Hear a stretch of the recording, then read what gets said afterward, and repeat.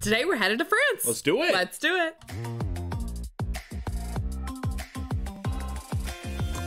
All right, I'm excited Okay, for this. me It's too. been way too long since we've done a video It's about been France. way too long. Too long. Yeah, we've checked out um a couple videos about Paris, some of the other cities in Yes. France. So um today we're checking out some culture shocks. Yeah, it should be good. It should be really good. Video comes from our buddy at Wolters World. Yes. Thank you for the video. Love his videos. Always love his videos.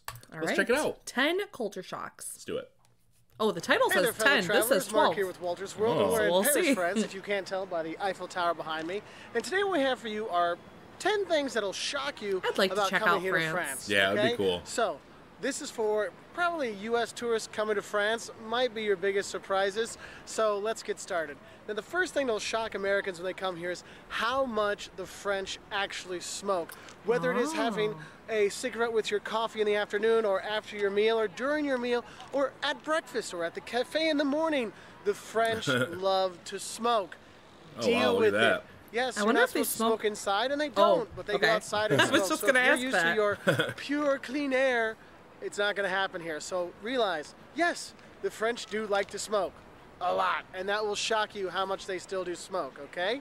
The second thing that'll shock you about coming to France is actually how friendly and helpful the people are in France. Because in the US, we hear all this That's anti American Yeah. stuff about France and how the French are rude and unhelpful. That's a bunch of BS, okay? The French are fantastic people and they are very helpful. Even here in Paris, the locals are actually much nicer than you'd expect from a huge international city with millions of tourists every year. So just realize you'll be shocked at actually how friendly the French people can be. And when you get to the villages or you speak a little bit of French, That's great. how much even Yeah. more friendly they become. And that's going to shock you just how wonderful the people are here because they're not jerks that hate Americans, okay? They're good people. The third thing that'll shock you about coming to France is, how do I say this? Well, they're closed for business, okay? Eh, during Business the lunch hours. hour, some businesses will literally close for an hour or two every day. Also, Sundays, forget about shopping, it's all closed down. And even some places on Mondays are closed as well. Oh, really? Museums, Mondays? sometimes they're closed on Thursdays. And these weird office and business hours can get kind Wow. of frustrating for tourists. So we'll shock you when you go to shop on a that. Sunday. That's or- shocking the Louvre is closed on Tuesdays because Yeah. you'd think for a huge like destination like Yeah. that, it would be open all the time. Yeah. That For is how many tourists go to see it. Yeah.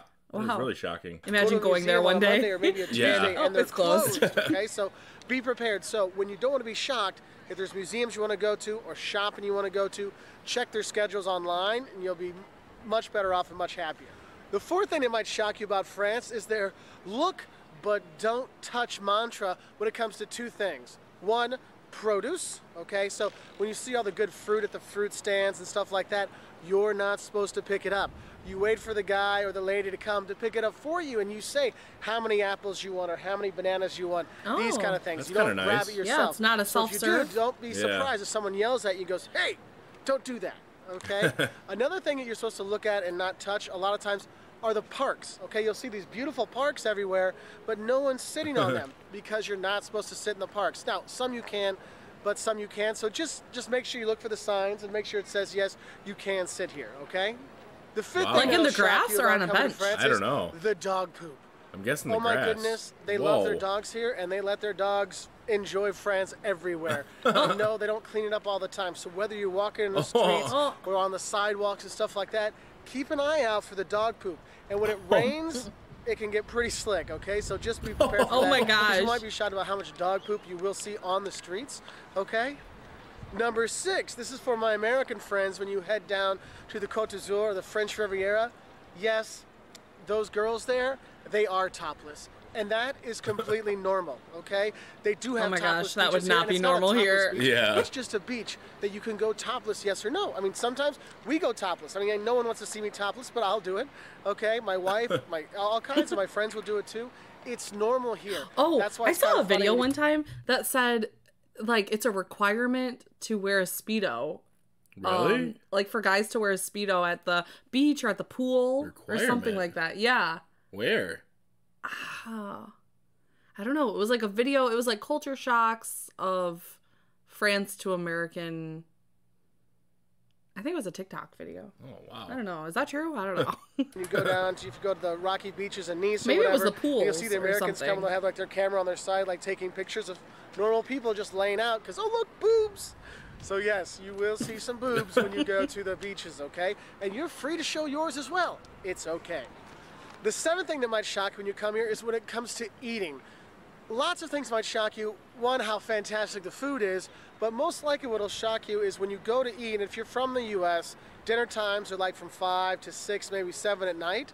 Mm-hmm. Well, here in France, a lot of times restaurants will close in the afternoon between the lunch sitting and the dinner sitting.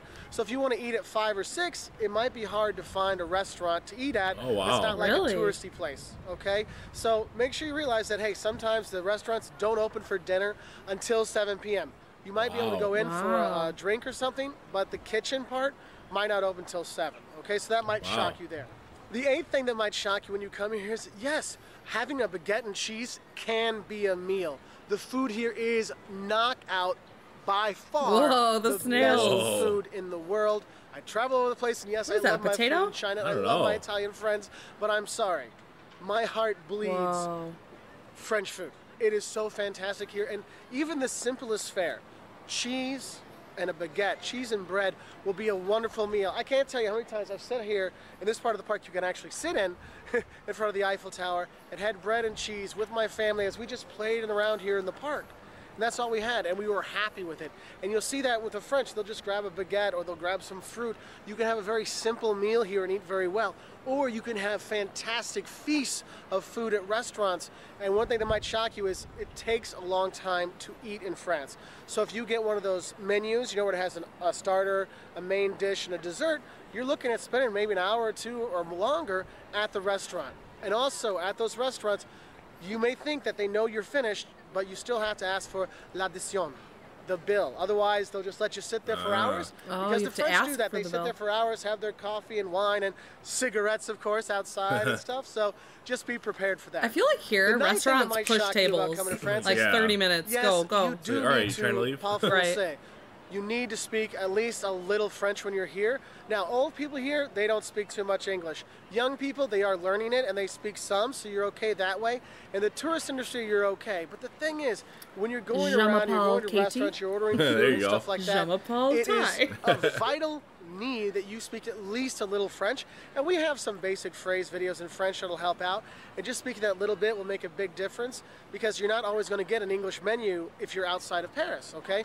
Paris, it's easy because there's so many tourists. But hey, you're going to Avignon or Montpellier or La Rochelle, it's a little bit tougher to come by, okay? So you need to be shocked that yes, you do need to speak some French because no, not everyone speaks English here, okay? Je. The tenth thing that you're going to There might you go. shock you, if you, especially if you're from the uh, U.S., are the free-range children they have here. The French let their kids be children. They get to go ride on their bikes and, and their scooters by themselves and no helmets and stuff like that. And it's okay. they don't helicopter parent here. So I'll see tourists going, oh my God, there's a kid by themselves over there. He might be eight or nine. Yeah, that's normal here, okay? But it does shock Americans when they see like kids, roving groups of, you know, 10-year-olds hanging out because they give them the independence to do that and it's great and i know our kids we let them run wild when they're here and they love it because they're not dragged back by some old lady down the street saying like, hey this ran kid was out wild- on his own i'm like yes Ran wild and you can still have them in sight though? Or just like, go ahead, see you later. I don't know. You know? Just go ahead. See you later. Wow. it's a park they can play okay so that might shock you is that thing the 11th thing that's going to shock you about coming to france is guys you need to realize France is not just Paris. I know I'm making this video in front of the Eiffel Tower because it is the most iconic vision of Paris. Wow, look at I had a that. beret, it'd Yeah. be just perfect. But the thing is, France is so much more than Paris. I love Avignon. I love Bordeaux, the wine. Oh my God. Go to Toulouse for the Space Museum there. I mean, France is awesome and it goes everywhere. Mont Saint Michel, probably the most prettiest place in the world. Oh my God, it's oh, gorgeous. There's so much in France to see outside of Paris, and that's what shocks a lot of people because they think, oh, I just need to see Paris. No, there is so much more here, and you're gonna love it. And the 12th thing that might shock you when you do come to France is that you might see there are quite a few beggars around. Now, the French people say, well, they're not French, you know, and these kind of things, but just be prepared for people begging on the metros or musicians asking for money or children begging, these kind of things. Just be prepared for that. Now, you should not give them money. okay, because that just encourages it to keep going. So just realize you might see some beggars. Now, those are actually 12 things that might shock you when you come to France. We love France. I'm shocked how much I love it, and every time I come here, I fall in love. It'd be fun to visit. France. I mean, Yeah, it literally, this is probably my 35th or 36th time in France, and I can't wait to come back. And I 36th lived yet. So anyway, if you want to learn more things about That was really cool. Yeah, that would be really cool to check out. Yeah, definitely. Uh, the baguette and cheese as a meal. That's that's quite yeah. something. And that's true too. I feel like when people say, "Oh, I'm going to go visit France," it's like, "Oh, you're going to go see Paris. Paris, Yeah, definitely." but so there's a lot more. more. to visit. Yeah. That was cool. Yeah, really good video. Nice. Awesome. Nice. Thank you so much for watching. Let us know in the comments down below what else we have to check out about France and what other videos we should watch. And thanks for watching. Yeah, thank you so much for watching this video. And if it's your first time coming across our channel and checking out one of our videos, please give us a quick subscribe. Hit that notification bell to stay up to date because we come out with videos every, Every single day day. and we can't wait to see you tomorrow. See you tomorrow. See ya.